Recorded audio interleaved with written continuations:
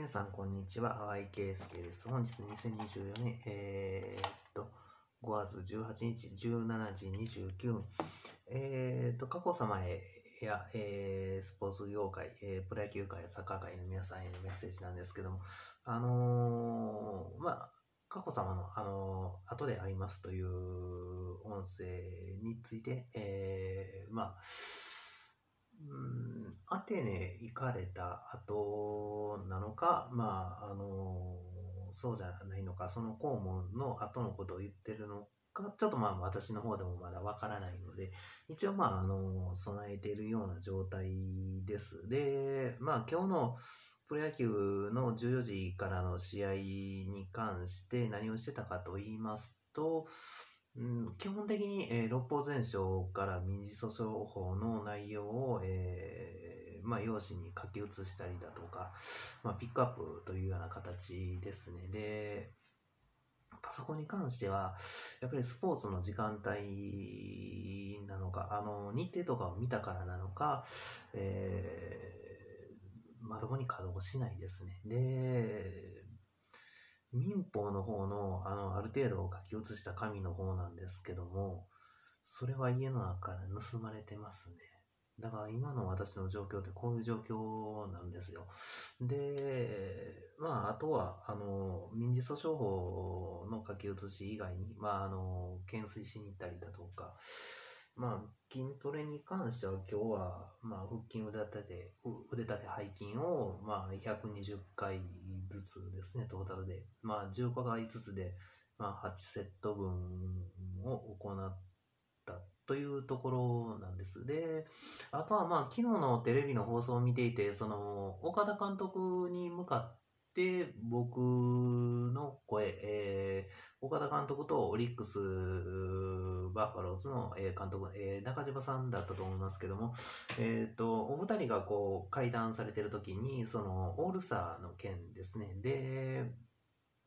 勝手に今僕の声が、あの、そちらの方に、えー聞こえてるみたいで、合わないっていうような内容で、まあ、昨日の試合に関しては、その、合わないっていうことを、えー岡田監督も返答していて、まあ、これは僕は、その、いろんな人たちが僕の家の横を通り過ぎたりだとか、声をかけても返事してもらえなかったりだとか、まあ、それはかなり精神的にこちらもきついということで、まあ、そういったことも今まで発言してるんです。で、そういった部分も含めて、まあ、あの勝手に聞こえてきた声に関して合わないっていうことを岡田監督が、まあ、おっしゃってたのかもしれませんし、あの、まあ、基本的に、まあ、民事訴訟法の方を、まあ、見直していて、まあ、参考人だとか、まあ、そういった方法とかもあるわけですから、基本的にその、うん、まあ、スポーツ業界のことに関して、その勝ち負けの件とかにも関してなんですけども、まあ、結局のところ、株主さんがいらっしゃって相場的なところと、あと公認のものを本当に僕としては誰かが担っていただきたいっていう部分。まあ、それがありますので、まあ、裁判をするわけでありまして、まあ、公認の方も、その、しっかりと生活ができるぐらいの範囲で、えー対応というような形で、まあ、できればその、うん、僕みたいな状態はかなり厳しいんじゃないですか、事故になる人っていうのは。その一つのプロ野球業界だけじゃなくてサッカー業界等にも影響を与えていて、まあ今日は女子バレーボールの日本代表の試合があるかないかだとか、やっぱり日程を確認しなきゃならないっていう作業は出てくるんですよ。で、そうなると、そのスポーツの時間帯の時にパソコンがしっかり稼働しないということになると、これはやっぱりなかなか裁判、あの、周囲作りができない。で、まあ、法律相談とか、その民事訴訟法を今日ピックアップしていた時に、まあ、あの、まあ、求める内容のまとめですね。で、そこで訴訟費用がやっぱり上がっていくんじゃないかというところで、えーまあ、どういうふうに、えーするべきかという部分なども含めてか、まあ、その、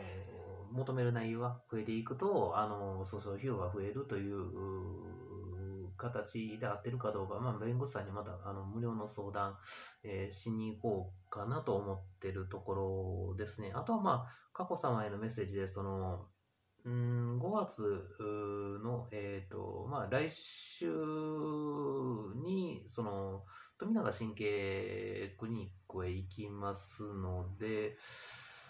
うん、まあ、も、もしこちらの方に来てアテネに行く前に、まあ、会うっていうのも、まあ、それも一つの方法で、まあ、一緒には、あの、行くか行かないかのところは、ちょっと判断が難しくなるとは思うんですけども、まあ一応、こちらの状況として、まあそういうふうな状況であるということをお伝えしておこうと思いました。まあアテネ、そのまま出発された時を見、まあされた場合、まあ僕と会わないで、まあこの、うん、まあブラザーのこのプリンターも、えー粗大ゴミとして、まあ出そうかなと、結局印字がしっかりとできませんので、家の中のその余計なものの体積ということになってくるので、えーまあそういうふうにしようかなとも思うんです。あとはまあ弁護士さんの無料相談だとか、まあそういうふうに動こうかなというところですね。以上です。えーまあこういう状況ですんで、えーまあ訴訟の方はどういうふうなペースで進んでいくのか、ちょっと不透明だということは、えーご理解してください。以上です。